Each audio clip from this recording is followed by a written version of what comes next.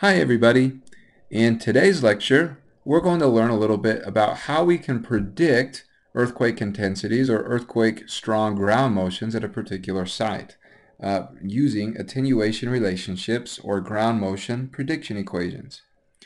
So in previous lectures, we've learned a little bit about earthquakes. We've learned how we can record earthquakes. We learned that once we have a recorded earthquake, we can quantify it or try to describe it in terms of amplitude parameters, maybe like peak ground acceleration or peak ground velocity, frequency content parameters, so those might be things like Fourier amplitude or Fourier spectra or, um, or response spectra, or duration parameters, so those might be terms like uh, the bracketed duration or the maximum velocity over the peak ground acceleration. Uh, and, and so there's lots of different parameters we can use to describe a ground motion once it's recorded. But here's the challenge and the question I have for you. If we're the engineer for a particular site, how do we develop ground motions for some future earthquake that hasn't happened yet? Well, the answer, or at least one potential answer could be, is we can collect the data that um, from earthquakes that have already happened and empirically try to fit a statistical uh, or an empirical equation. And statistically fitting it, we can come up with an equation that can predict ground motions given some input that we can know beforehand before the earthquake occurs. Now, these equations then have been around for a few decades, and we call them attenuation relationships or ground motion prediction equations. If I go here to my whiteboard, let's say that you have a site and it's located right here where this star is, and you've got different faults that are located around your site and at all at various distances. Now here's the problem. You're standing right here, but you don't know where the earthquake could possibly come. The earthquake could possibly come from that fault, or it could come from this fault, or it could come from this fault, or it could come from that fault. In addition to that, um, even if you knew which fault the earthquake was going to happen on, so say maybe this fault up on the top, you don't really know how big the earthquake is going to be. Uh, and, and, so, yeah, we, we do have some problems. I mean, there's a lot of things that we don't know. But what is one thing that we do know? Well, maybe, maybe, just maybe, we know the distance from our site to the fault. And we know the distance from our site to this fault. And we know the distance from our site to this fault, and we know the distance from our site to this fault. Those are all parameters that we can predict and measure beforehand. And so source to site distance, or R, is a very good uh, parameter to use in an attenuation relationship because it's something that we can predict before the earthquake is going to occur. And we we can predict it because we know that earthquakes happen on faults. So, with that being said, let's imagine now that uh, I have hundreds and hundreds of ground motion recordings from previous earthquakes. Now, um, from those ground motion recordings, I know uh, the source to site distance, or R, from my recording instrument to the, the seismic source or the fault that ruptured. And from each of those ground motion records, I can obtain the ground motion parameter of interest, and whatever it is. Maybe it's PGA, uh, whoops. Maybe it's PGV.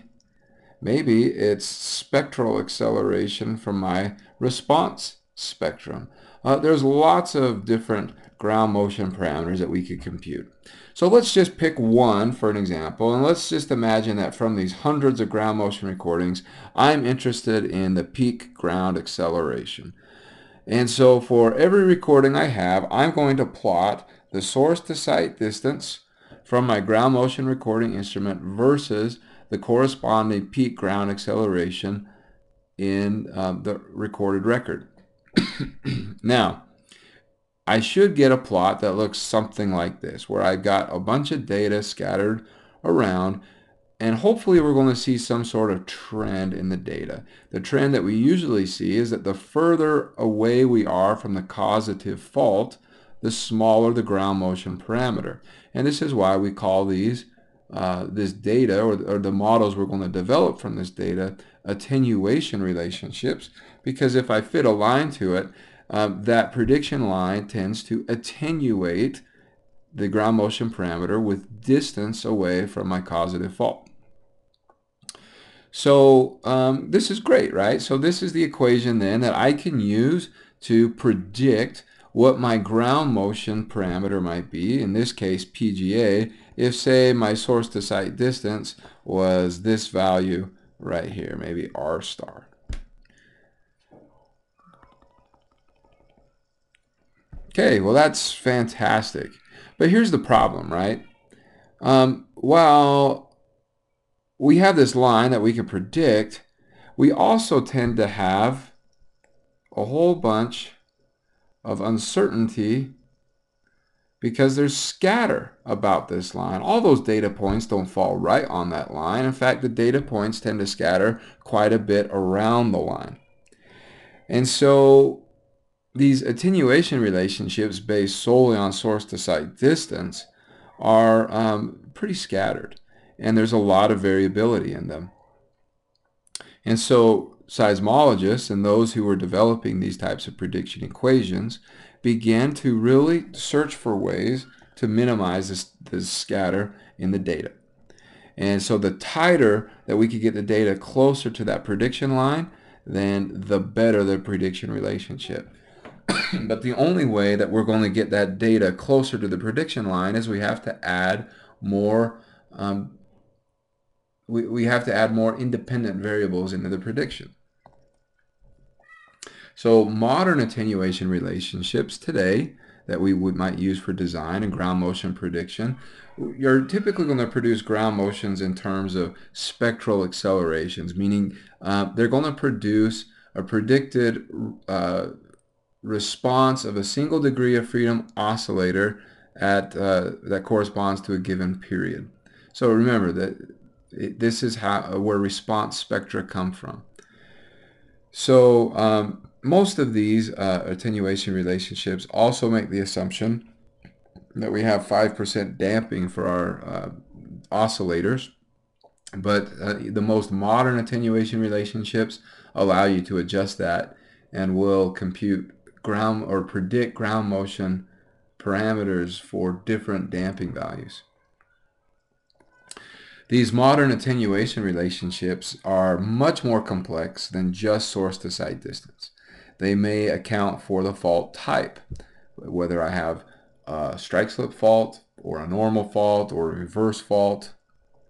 They may account for fault geometry, so things like the dip, the width of the rupture, plane, the length or the area of the rupture plane.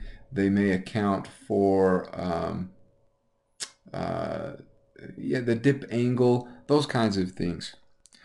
Uh, whether or not our site is located on the hanging wall or the foot wall. Now this is um, going back to when we were talking about faults. If I draw just a three-dimensional representation of a fault,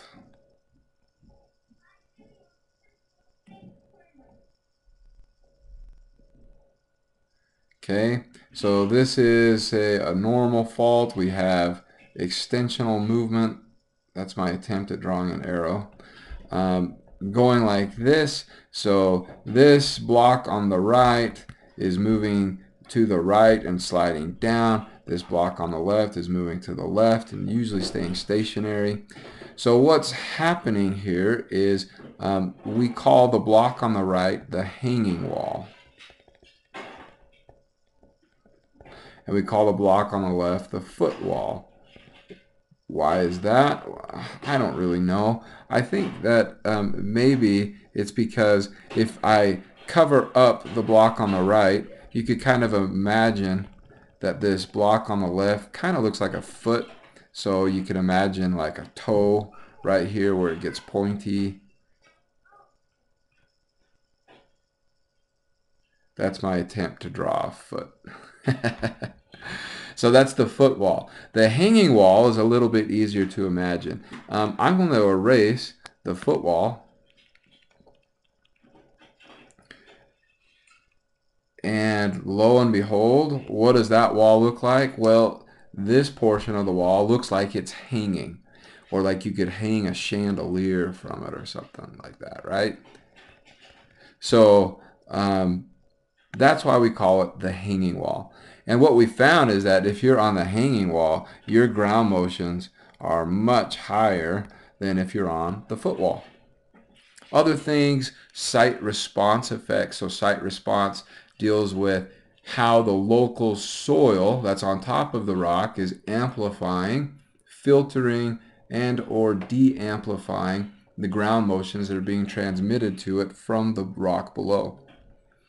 Basin effects deal with uh, whether or not you're in a basin, how deep is bedrock in the basin, and and why this is important is that basins can cause reflections of seismic waves and the waves just kind of can sit and bounce around and roll around and around inside of these basins kind of like uh, what happens when you ring a bell and the sound wave just keeps echoing and going around and around inside of a bell whether or not you're predicting the main shock or potential aftershocks and and really at the end of the day uh, there's many many more by the way um, these modern attenuation relationships are very difficult to perform. In fact, you're probably not going to be doing them by hand. You're going to be using some computer program or a pre-programmed spreadsheet to predict these ground motions from these relationships. And I'm going to upload a supplemental lecture that's going to introduce you to a spreadsheet that I provided to my students.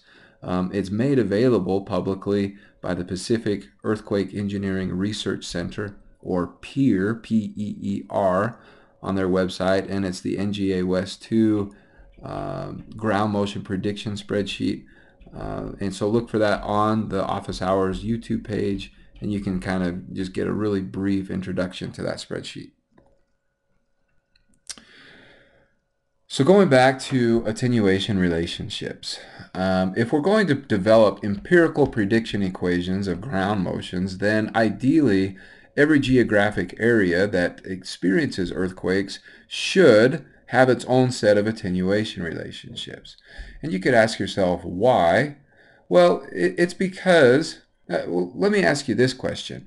Imagine if I had a ground motion recording instrument located some distance from a fault, and an earthquake occurs and that instrument records ground motions from that earthquake.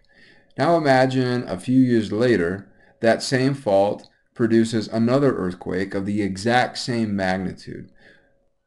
Now, would I expect the two recorded ground motions from that instrument to be exactly the same, even if the two earthquakes were the exact same magnitude? Of course not. I think every reasonable person would admit that, that, that no, of course there's going to be differences between the two recorded ground motions. And so the fact is that there are a lot of other factors and parameters that affect ground motions than just source to site distance and earthquake magnitude. But if we collect ground motion data from one specific geographic area and only one specific geographic area, we in essence account for all those different variables and factors in the data set itself. And by doing that, we can potentially minimize the scatter in that ground motion data. But here's the problem. So, you know, I live in Utah.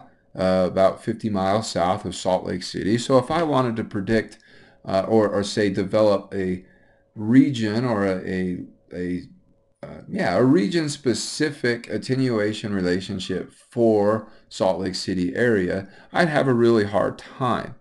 And the reason for that is because I just don't have enough recorded earthquakes from Salt Lake City to develop these prediction equations.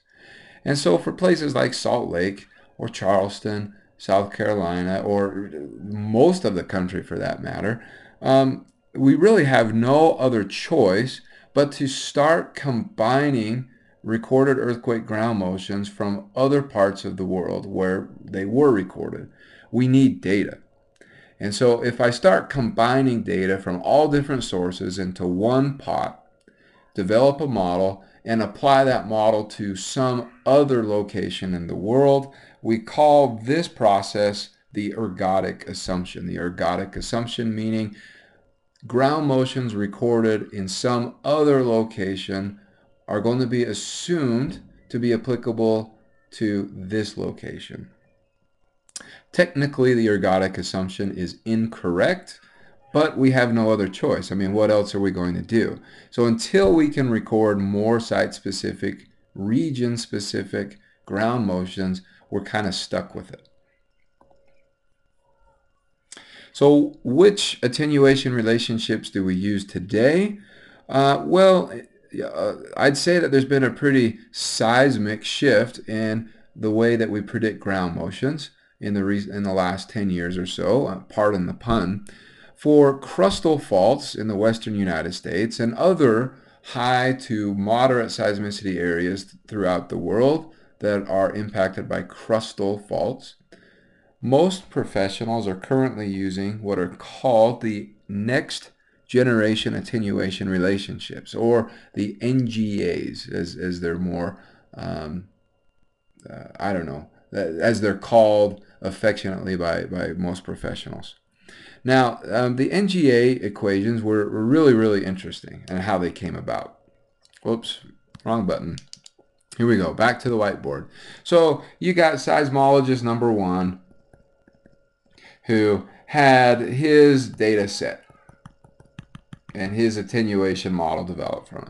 Then you have seismologist number two and she has her data set, many from the same earthquake, but just interpreted differently. And then you have seismologist number three. Maybe this one's a grumpy one. I don't know. But the point is that everybody had their own data set and they were developing their own prediction models or attenuation relationships from their own ground motion data.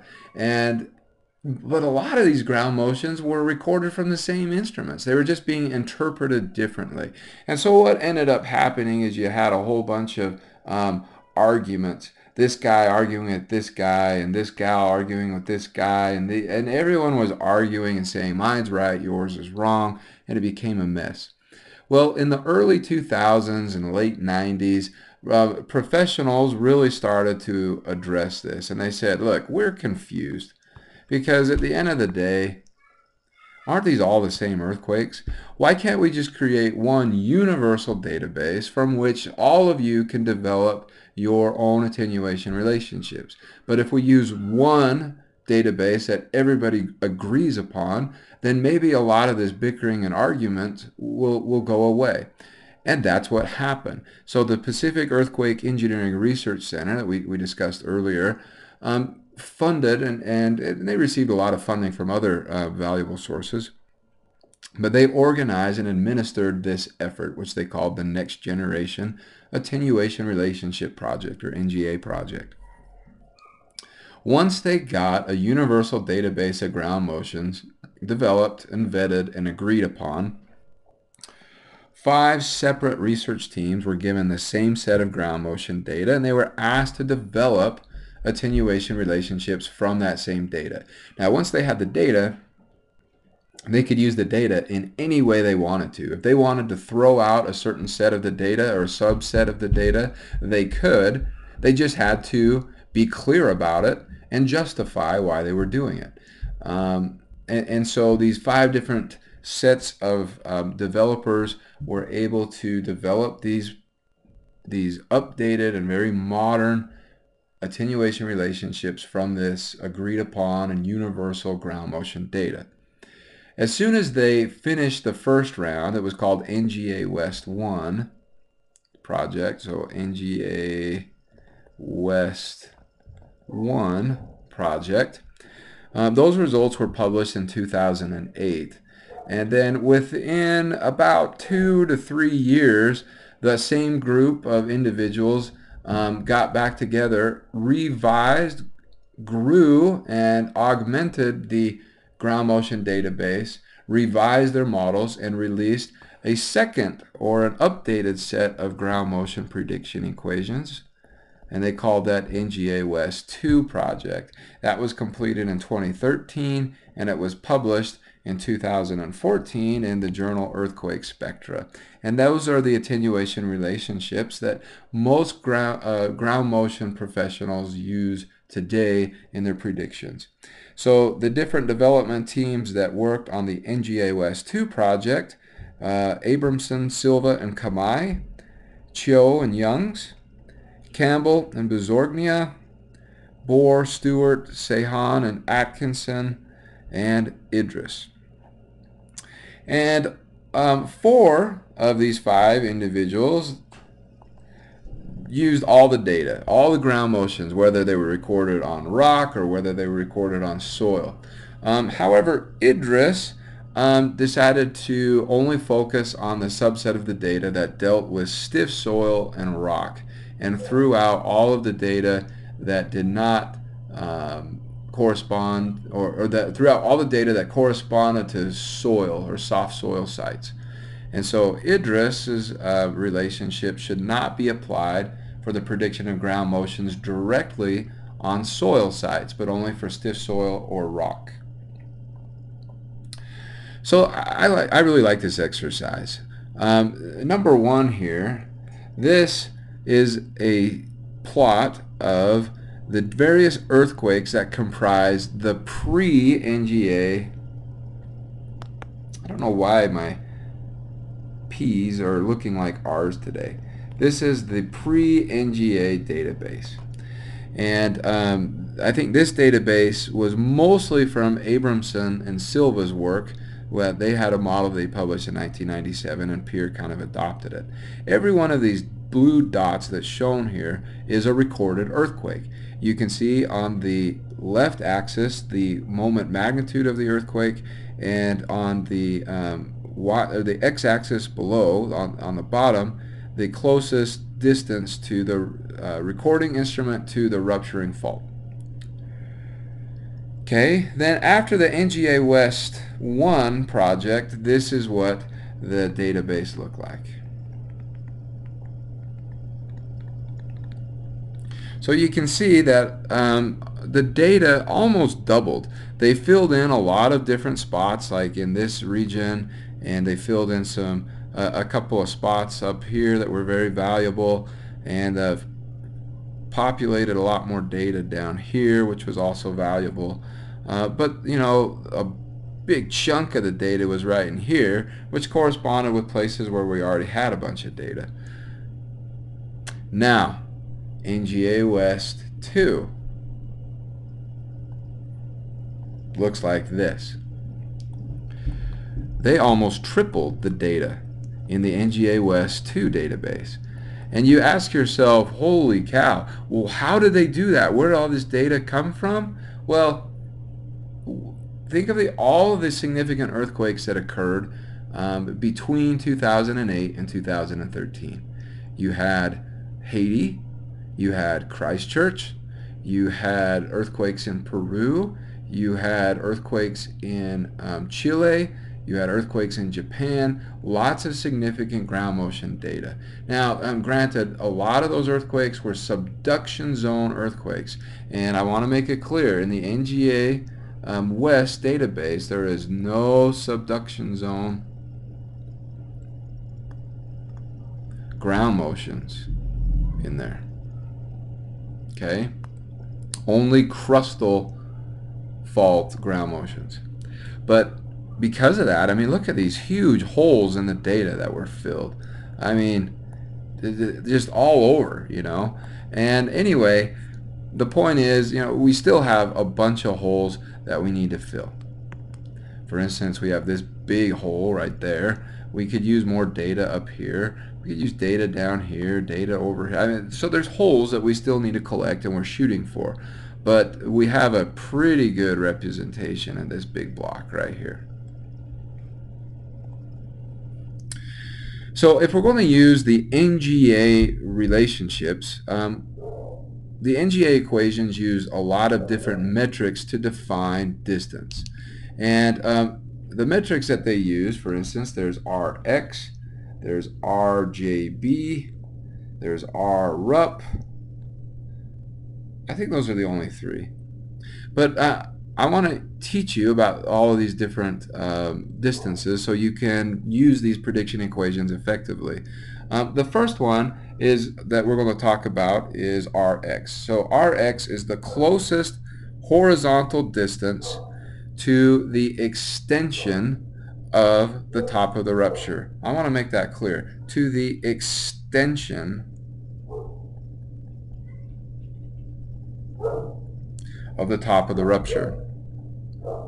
Now, if you're on the hanging wall, Rx is going to be a positive value, and it's in units of kilometers.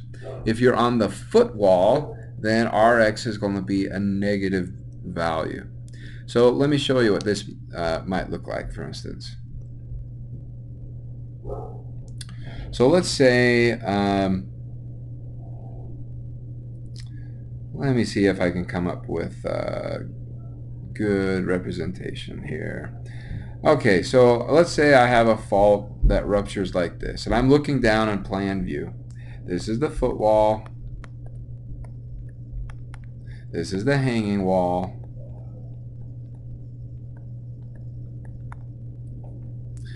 Now, and let's imagine that this fault ruptures right at the ground surface. So this line that you're seeing is actually the top of rupture and we're looking straight down at it. So let's say that I have a site located right here. How would I get Rx? Well, I would extend the strike of the fault. But Dr. Franke, the fault doesn't extend that far. Yeah, I know, but I want you to just extend it. Okay? Then the distance from your site to that extension, it's got to be a 90 degree angle. That is going to be Rx. And Rx, if you're on the hanging wall, is going to be greater than zero. It's going to be positive. Now what if your site happened to be on the footwall, like up here? Well, then it's going to be the distance from, you know, same thing, going orthogonally from the extension to your site. It's going to be Rx, but this time it's going to be a negative number. Okay, so that's your Rx source to site distance. And remember, these are horizontal distances. Okay, now let's teach you what RJB is. RJB, I want to give you the, um, eh, right here we call it the Boore Joyner distance, and that's not going to help you. So Whoops. So let's imagine here that um, looking in plan view that my fault ruptured down to a am um, going to draw a little three-dimensional view here of my fault. Let's see. Here, here, here, here, here.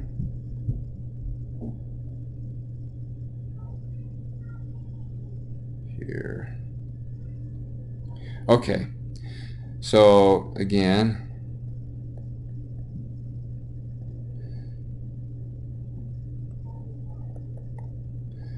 this is the foot wall. This is the hanging wall.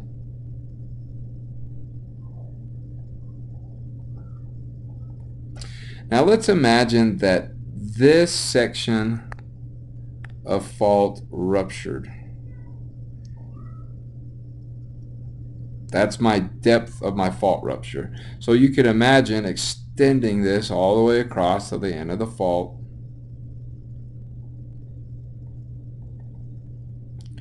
So if I were to just shade out my rupture plane, that's kind of what it would look like, right? Okay, now imagine if I were to project that rupture surface onto the ground surface above. So just project it. Whoops, I went too far. Here's the bottom of rupture, project it up to the ground surface.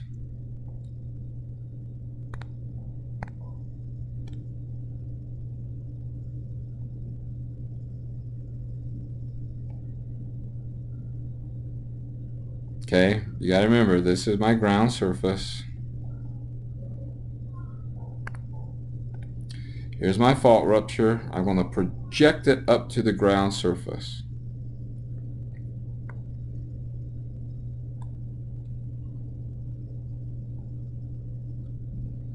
Okay. So that projection would shade this much of the ground surface, right? On that surface projection of the rupture zone projected on the ground surface. Now, imagine an eyeball looking straight down. That's what we're looking at up here. So imagine now this is my surface projection of, well actually it's got to be the whole fault, the fault rupture. So here's my surface projection of the rupture zone, looking straight down.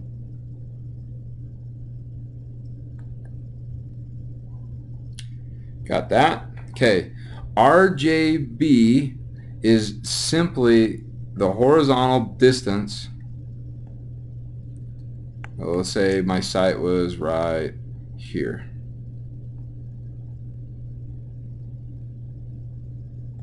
Say my site was right there. RJB is the horizontal distance, the closest horizontal distance to this projection of the surface rupture. Okay, that distance right there, that's RJB. Or what if my site happened to be on the footwall right here? Well, then that distance right there is RJB. What would happen if my site happened to be right there and the fault rupture was directly beneath my feet? Well, if that's the case, then RJB is simply going to equal zero. Okay? That's RJB. So if you look at these pictures here, um, you can see if this is my site, here's my top of rupture, extend the top of rupture right up there. So uh, because there's no dip angle in this fault, my rupture surface, if projected to the ground, is just this little zone of red that I'm shading right there. So that's why RJB is equal to Rx in this particular case. And Rx is positive because um, we're, we can say we're on the hanging wall. For a strike slip fault, it doesn't matter if Rx is positive or negative because you don't know which one is the hanging wall or the footwall. But if we do have a dip, okay, so again, uh, here on the figure on the right, I have a, a fault that has a dip. Here's my surface projection so this zone right here is my surface projection of the fault rupture. So RJB is simply the horizontal distance or the closest distance to that surface projection. And Rx is the distance from my site to the projection of the top of the rupture. Even if the fault doesn't extend to the ground surface, yeah, even if the fault doesn't extend to the ground surface. You still project the top of the fault up to the ground surface. Let's see. Um, we wanted to talk about our rup, our rupture. Yep. Okay. Our rupture, shown right here, this would be the um, closest distance from the site to the actual rupturing plane. So this is the closest distance to the rupturing fault plane. So in both of these cases, you just um, take your site and you go straight down the, the shortest distance to the fault plane itself. If I'm looking on this figure right here, okay, if my site was located right here on the ground surface, it would be coming straight down to the fault such that it would make um, it would come off 90 degrees from the fault plane and that distance would be r rup okay? So you kind of have to think of the fault three-dimensionally. So r rup is going to account for and help you um, well it's going to account for the dip angle uh, of the fault and, and and where the site is located relative to the rupturing fault. Now there's there's one other um, R distance I forgot to talk about. So let's see, we covered Rx, we covered RJB, we covered RUP, but I forgot that the NGA West 2 attenuation relationships also have a new distance called RY naught. And RY naught is um, it's pretty easy. So we have our surface projection of the fault right here. Now imagine um, projecting this line out in the direction of the dip. And we could do it on this side as well. Ry is simply the horizontal distance from that projection. Okay, so Ry naught, that deals with um, the distance.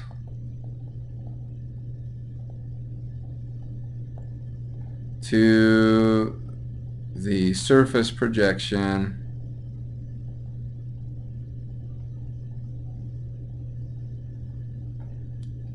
Can't spell today. Projection. In the direction of the strike. And RJB deals with the distance to the surface projection in the direction of the dip.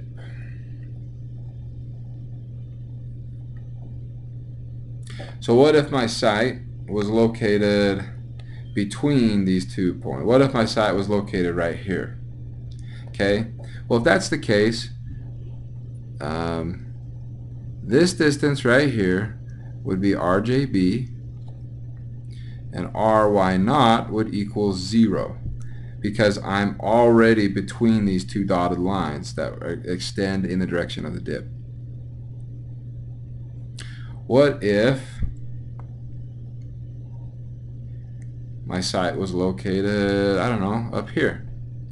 Okay. Well, if um, that is the case, I'm going to have to um, double check on this. Let me I'm going to pull up this spreadsheet really quickly.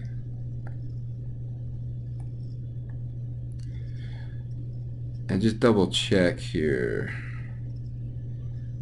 Here's our formal definitions. Closest distance, here's RJB, closest distance to surface projection of coseismic rupture. See figures A, B, and C for illustration. Yeah, okay, that's what I thought. So, if this is your site, RJB is going to be this distance right here.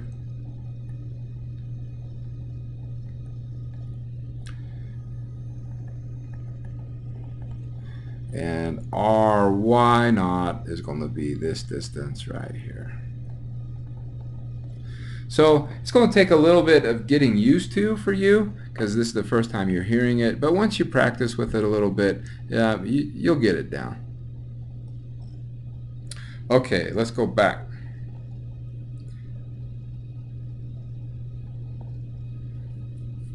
Okay. Now, how do the uh, NGA attenuation relationships do when you're dealing with soil versus rock? Well, the NGA relationships, they, they really don't have a trigger for soil or rock anymore. The old attenuation relationships used to. I mean, they were completely separate relationships. You either had soil or you had rock. Well, now um, we just use an input value called the VS30. VS30 is the average shear wave velocity in the upper 30 meters of the ground. And it's computed with a harmonic mean uh, in those upper 30 meters and it's all weighted based on the thickness of the soil layers.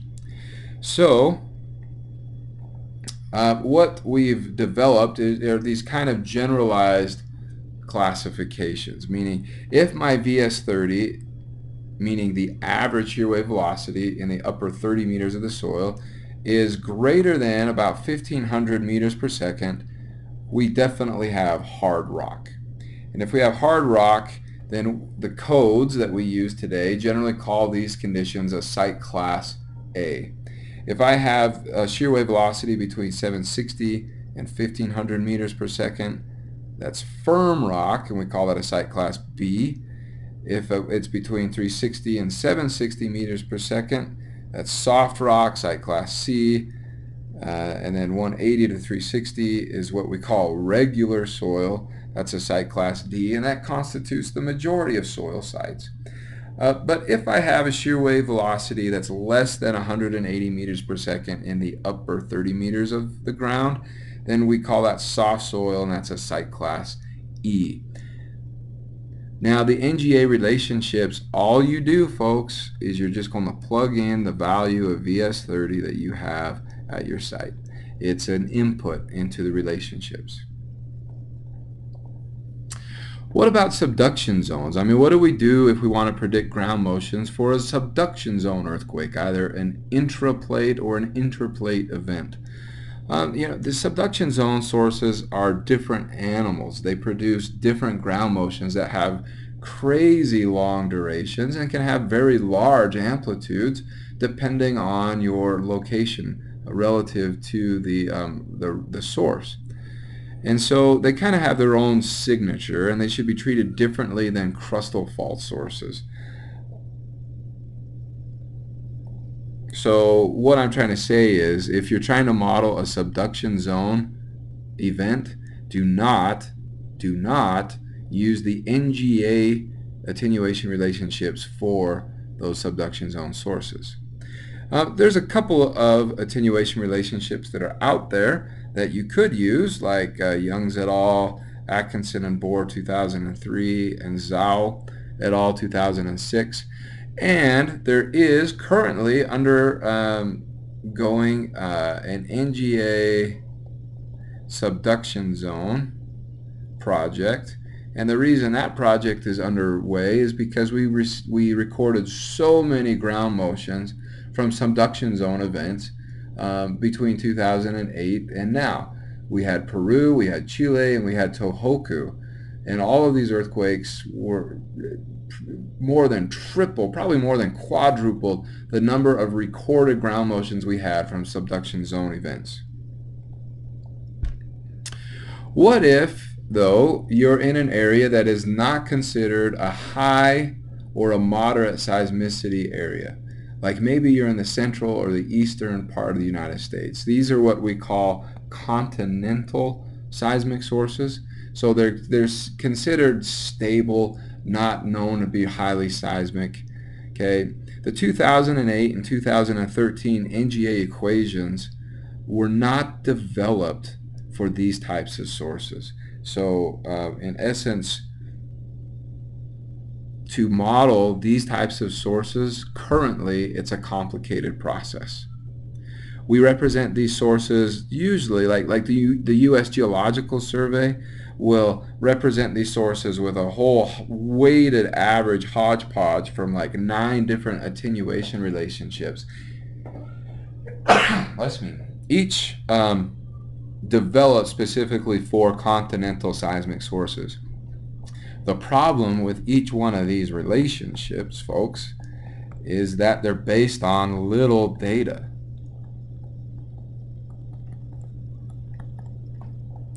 So why can't we just use the ground motion prediction models from the high seismicity areas, Dr. Franke?